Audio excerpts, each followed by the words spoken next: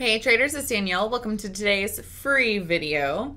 So today in the stock market, you can see that, you know, as of right now, S&P futures are down about half a point. Not a big deal, really. Why? Well, because the market has been incredibly strong, particularly since we broke through the 50 period simple, which came all the way back in, in June. And honestly, we haven't even really been able to see a pullback whatsoever. Now, while we have been looking for a potential pullback in the market, you also have to understand that we're coming right up onto earnings season. And that's going to be the main driver for this market. And honestly, I'm going into earnings season pretty bullish. We'll see what happens with uh, with banks. Sorry, that was supposed to be a B.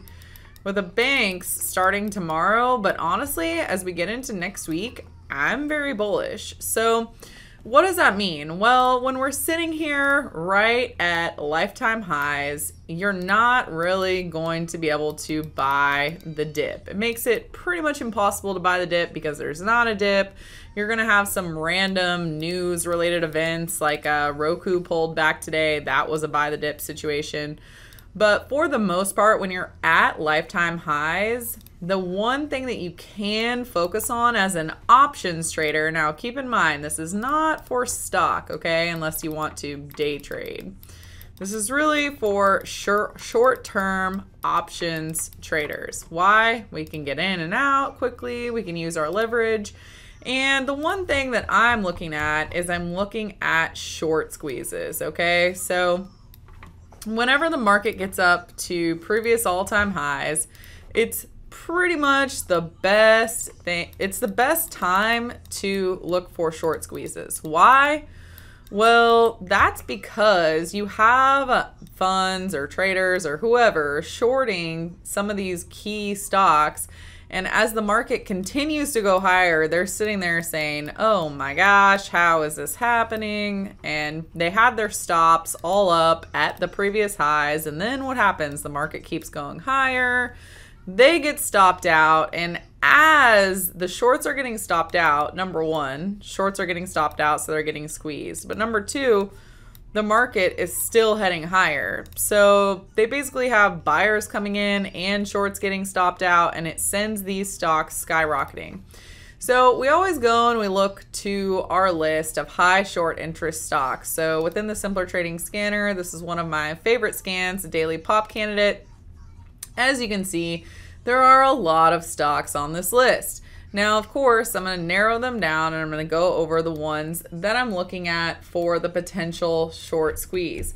Now, AMD, I was on Fox today right at the close and I had to run out in the middle of the day which was awesome. Really enjoyed it, but I did miss my entry on AMD. I've been stalking this thing forever. Um, you know, we got in again around the 50 period simple, and I am targeting this overhead extension target, which is 3583 and then 3778. But you know what happened today that was so critical was this previous high was breached. It went out on almost the highs of the day and it was up three and a half percent. You know what happens when something has 12% high short interest and it goes out on the highs?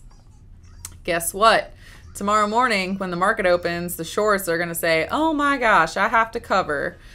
And they're going to get out of their positions and it's going to send it even higher. So for AMD, um, like I said, I have a long term swing position on this, but especially if we're starting to see some upwards momentum tomorrow, it could be a great opportunity to come in and day trade it to the upside. Now, I wish I had a lower time frame set up, like a 30 minute or 15 minute.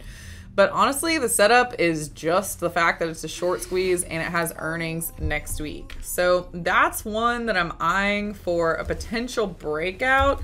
AXSM. Now, I haven't traded this one before, but this one has 28% high short interest. And it has a great five star Phoenix pattern on the daily chart. You can see the way that it has pulled back. Boom, boom, right to the 21. We have an upcoming earnings report. We've had volume staying above zero. And even better, we have a lower time frame 195 minute squeeze. So that gives me an overhead target of 29 $30 about, and it's also pretty liquid. Last week, we talked about TTD, and you know, I didn't realize when I did the video on TTD last week that this has such high short interest. But we talked about this one last week. I still love the technical setup, and once I was looking at my short interest scanner and I realized there's still 13% high short interest, I would love nothing more than a breakout here to trade it up to 270. So that's another option for a shorter term time frame trade. Uh, beyond that, you know, it's it's pretty difficult to come in and try to buy some of this stuff at the highs. That's why we stick to a lower time frame chart. Um, but as you can see, I mean, a lot of these high short interest names, those are the ones that are that are up so high today. So if you can get any of them on a slight pullback, that's great. Um, and some of them I'll be doing a little bit more aggressive short-term buys just for, you know, a fun breakout options type of trade, especially on AMD. So beyond that, I hope you have an excellent rest of your day. And I also wanted to let you know that I am going to be having a webinar this Thursday that I'm very excited about. And this webinar is going to be called Triple Stacked profits. So, you know, I've taught several different classes. I've taught the five star strategy, I've taught Phoenix. We've talked about stock picking, we've talked about buying long calls, buying puts. This is something entirely different. Right now, what I'm mainly focusing on is how to really stack your profits. So, you know, getting 80% on a spread, that's great. That's kind of like short, steady income type growth. What I've done over the course of the past couple years is I've really learned how to maximize that. So, what we're doing is we're basically taking the Phoenix setup, we're taking the five star setup.